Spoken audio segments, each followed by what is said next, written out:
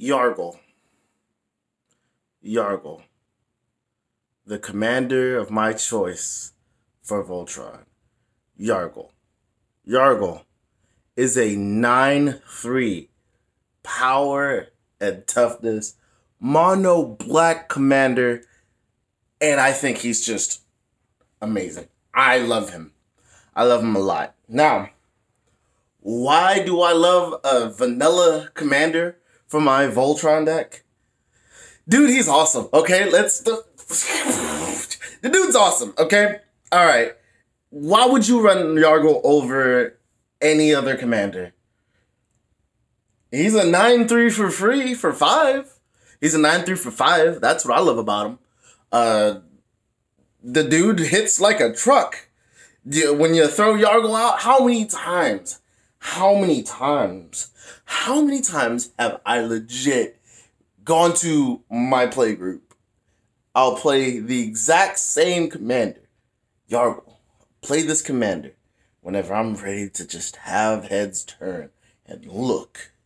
Because it is the funnest thing whenever you throw down a commander, especially if there's someone new. It's the funniest thing when you throw down your commander and they're like, what does he do? Who is he?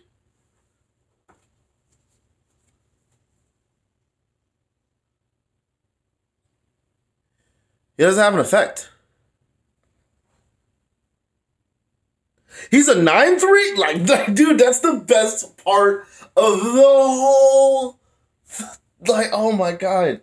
He's a 9-3. You can abuse that so much. I can't even explain.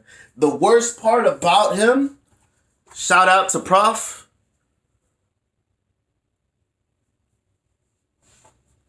Shout out to Prof.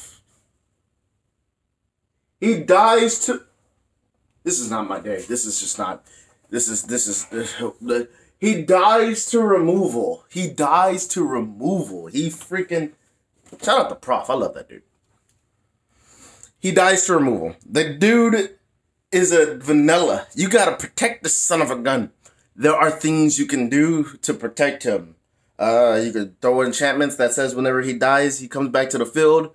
I actually run a um I actually run a deck that's based around bringing them back from the graveyard. Why? Because it's fun. It's cheaper than paying five every time. I'll exhume. I don't care. I got nine three. Okay. I also run equipments. I run the swords. I run the. I run the swords.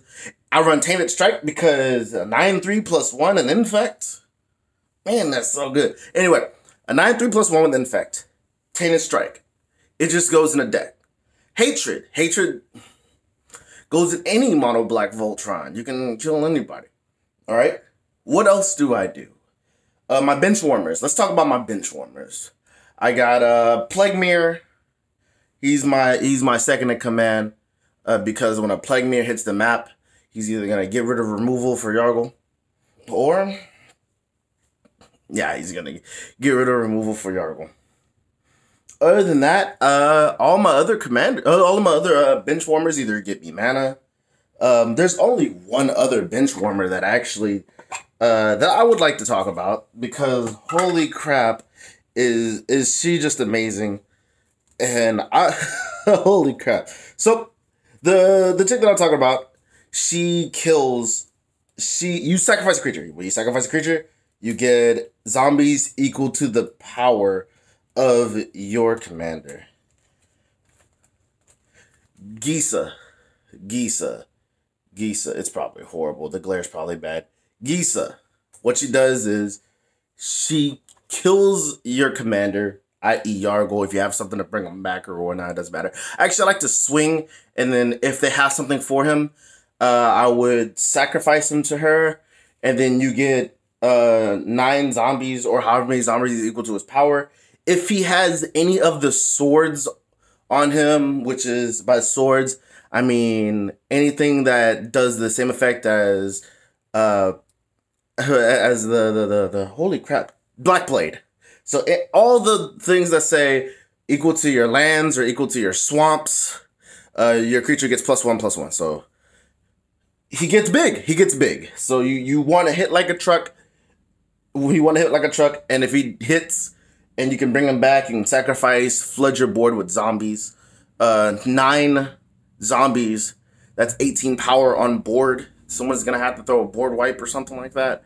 Um, thing about the zombies is that uh, you can equip the swords to the zombie to a zombie, sacrifice it, get more zombies, um, and then you could keep your leave your Yargle alone or whatnot.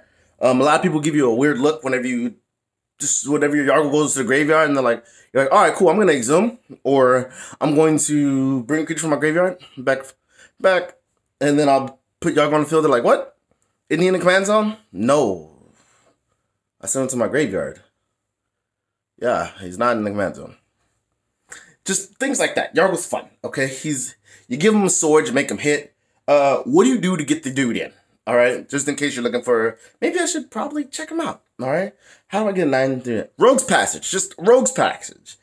Rogue's Passage is a easy card to get a hold of. It's cheap for four target creatures unblockable. You can get them in. All right. Most of the time, you probably can, if you can swing with them, just swing with them, and uh, you'll end up. Uh, you, you, sometimes they'll be like, "Oh, he's nine. Nothing, no effects, nothing. All right, I'll take it. That's when you tainted strike them or you hated them. The it happens all the time. happens all the time. I've won play groups just by killing one person, killing the big person at the table because they thought they were invincible, and then start running through or swing at somebody who has the combo pieces out, who has just their combo pieces out. They'll take it. They pretty much take it all the time. I don't even know why. Like they, they think you're so attached to the to the vanilla, but lo and behold, your Voltron deck is your Voltron deck is, is reses from the graveyard. So you're a graveyard based Voltron deck. No one really I've never heard of anybody actually doing that. There probably is. But like, yeah, you're in mono black. That's one of the best things you do. Bring things back from your graveyard. So bring them back, give them a pair of boots. Um, any recommendations for playing Yargle? Uh number one, Sword of the Animist. Get Sword of the Animist. The reason why you just get lands. You need lands. It, thin, it thins out your deck. But it lets you play spells, and when you're playing Voltron, you're trying to get you want you want to play more spells. Um, your mono black getting lands is great, like a rampant growth on a swing. Yes. Uh, another thing, uh, Explorer's Scope. It's a budget uh, Sword of the Animist. Sword of the Animist is running dry. I've been looking a lot of places. I really can't find them. They're everywhere, but you really can't find them uh, unless they're in like someone's deck or they're always in someone's binder, but they're never trading them. But you never see anybody use one. I've been sticking Sword of the Animist in every one of my decks. I don't know, like recently because uh, Boros needs help, and Sword of the Animist just helps a ton. So it, it, it's a free ramp it's good. I actually think Sword of the Animist is, if not just as good as if you were running uh, Solemn Simulacrum or Solemn Assalamu Alaikum, is that, that's what, if that, that's what I call it. But it helps. It, it helps. Uh, so Solemn, Solemn, because uh, it's an equipment deck, it runs a ton of equipment. You have the J's and all the other stuff.